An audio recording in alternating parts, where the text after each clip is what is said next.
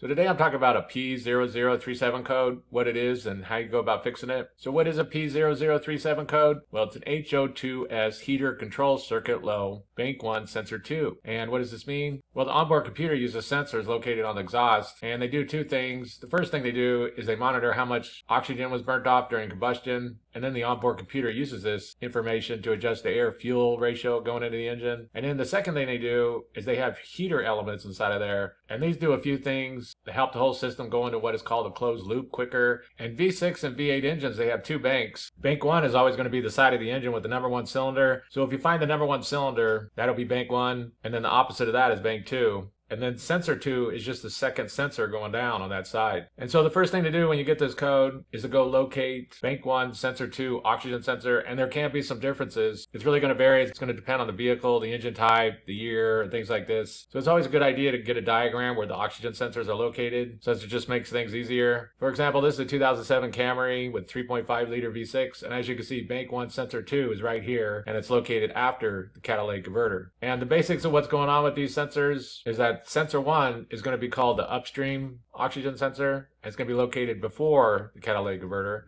And sensor two is going to be called the downstream oxygen sensor, and it's going to be located after catalytic converter. But the first thing you want to do is you want to go locate this bank one sensor 2 oxygen sensor on your particular vehicle. Once you locate it, next thing to do is check out the wiring real good. Be sure that there's no opens, cuts, or anything like this. And basically just be aware that if anything's wrong with the wiring, it's going to cause the same symptoms as a bad sensor. Also keep in mind that these are on a fuse. It's usually located inside the engine compartment. And if the fuses blow, then it can cause issues. So it's always a good idea to check for blown fuses. For example, this is a 2005 Toyota Tacoma. And as you can see right here, it says AF heater. That would be the fuse for this. This one also has a relay that if went bad, it, it can cause an issue. These can be labeled a little bit vague sometimes, but there's usually a fuse inside the engine compartment that these are on. So if you check all that, you checked out the wiring, you checked out the fuses, that all looks good. Then at this point, very likely that sensor has failed. You can't test it if you want to. And the heater part of the sensor is fairly easy to test. If you have a multimeter, you basically just find the same two colored wires, like this one, these two white wires, that would be for the heater circuit. These mismatched gray and black wires would be for the oxygen sensor